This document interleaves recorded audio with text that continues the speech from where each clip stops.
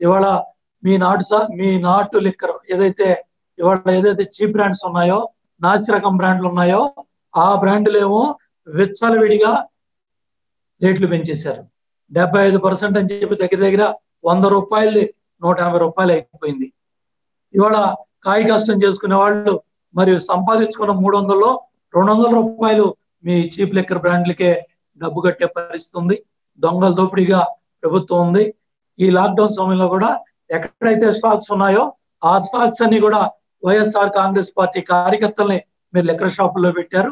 వాళ్ళు బ్రహ్మాండంగా అక్కడ శాసనసభ్యులు మంత్రులు వాళ్ళ ఆధ్వర్యంలో ఈ బ్రహ్మాండంగా షాపులు తెరిపించేసి ఆ ఉన్న స్టాక్ అంతా కూడా నాలుగు రెట్ల నుంచి పది రెట్లు అమ్ముకున్నారు. ఇవాళ బయటికి చెప్పేది ఏంటంటే ఎలుకలు తాగేసాయి. ఇవాళ లెక్కర శేషాలు ఎలుకలు తాగేసాయని చెప్తున్నారు.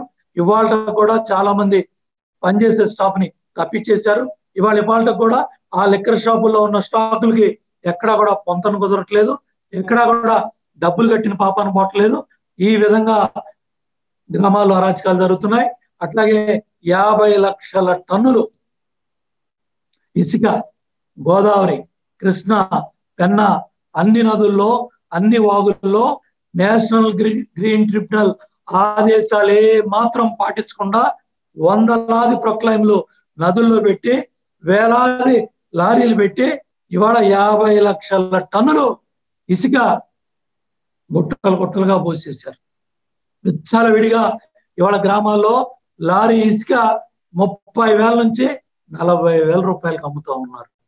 ఇవాళ ఇదంతా కూడా దగ్గర దగ్గర ఒక ఇరవై వేల కోట్ల ఇసుక కుంభకోణం రేపు ఈ లాక్డౌన్లు ఎత్తే గానీ మొత్తం బెంగళూరుకి మెడ్రాస్కి హైదరాబాద్కి మొత్తం తరలించడానికి వెచ్చలవిడిగా లక్షలాది టన్నులు ఇవాళ ఇసుక కుప్పలు పోస్తున్నాయి.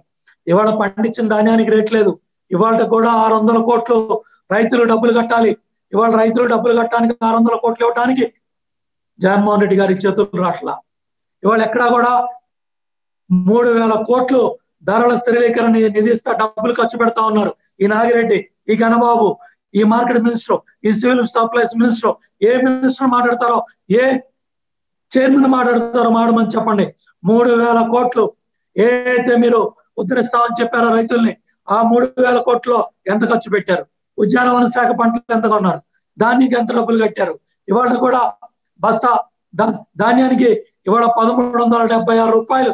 ధాన్యం బస్తా డెబ్బై ఐదు కిలోలు ఎనభై ఐదు ఎనభై ఐదు కిలోలు దోపిడీ జరుగుతూ ఉంది.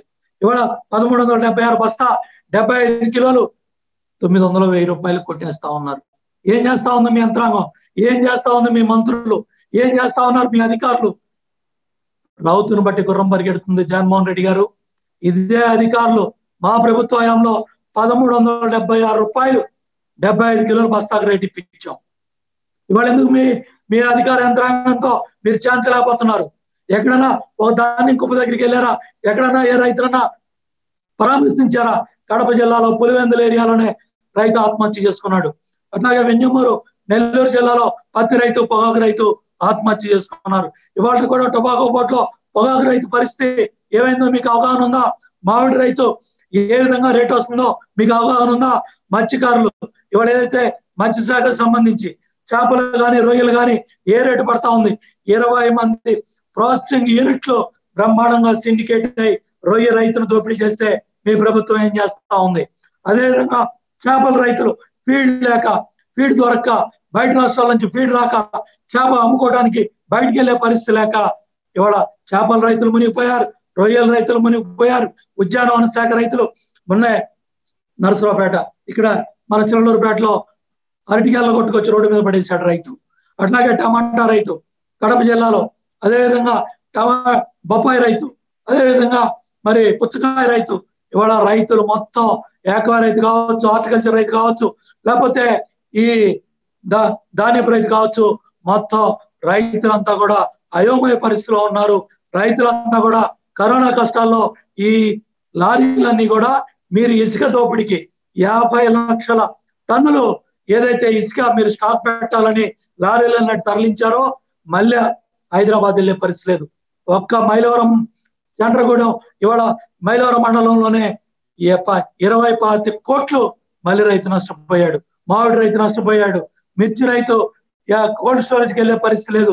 అదేవిధంగా ఇవాళ ఏదైతే కృష్ణా నది తీర ప్రాంతాల్లో మొత్తం ఎవరైతే కృష్ణా గోదావరి నది ప్రాంతాల్లో ఉన్న రైతులంతా కూడా పండించిన పంటలన్నా కూడా అది పసుపు కావచ్చు అరటి కావచ్చు తమలపాకు కావచ్చు ఏ పంటలు ఉన్నాయో దేనికి కూడా గిట్టుబాటు ధర లేక రైతులంతా కూడా గగ్గోలు పెడతా ఉన్నారు. ఏ మాత్రం కూడా పట్టించుకునే పరిస్థితిలో ప్రభుత్వం లేదు.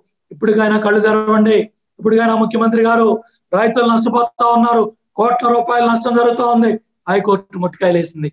మూడు విడతలుగా నాలుగు విడతలుగా వాయిదా పడతా ఉంది. ఎవరో ఒక ఇన్ఛార్జ్ మార్కెటింగ్ డిపార్ట్మెంట్లో ఉన్న ఒక సెక్రటరీని పెట్టి మీరు కోర్టులో చీఫ్ సెక్రటరీ తరఫున సమాచారం వేస్తున్నారే తప్ప ఎక్కడా కూడా చీఫ్ సెక్రటరీ డైరెక్ట్గా సమాచారాన్ని కోర్టు కూడా తెలియలేని పరిస్థితి ఉంది.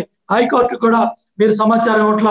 ఎన్ని లక్షల ఎకరాల్లో పంట ఎంత దిగుబడి వచ్చింది? మీరు ఎంత కొన్నారు? ఏ డిపార్ట్మెంట్కి ఎంత కొన్నారు? ఆ డబ్బులు ఎక్కడ ఖర్చు పెట్టారు? ఇవాళ కూడా ఓ ట్రాన్స్పరెన్సీ లేదు పారదర్శక లేదు. చెప్పే పరిస్థితిలో ప్రభుత్వం లేదని చెప్పి కూడా నేను జగన్మోహన్ రెడ్డి గారికి చెప్తా ఉన్నా ఎనభై ఆరు వేల కోట్లు అప్పులు ఇచ్చారు. ఏం చేశారు?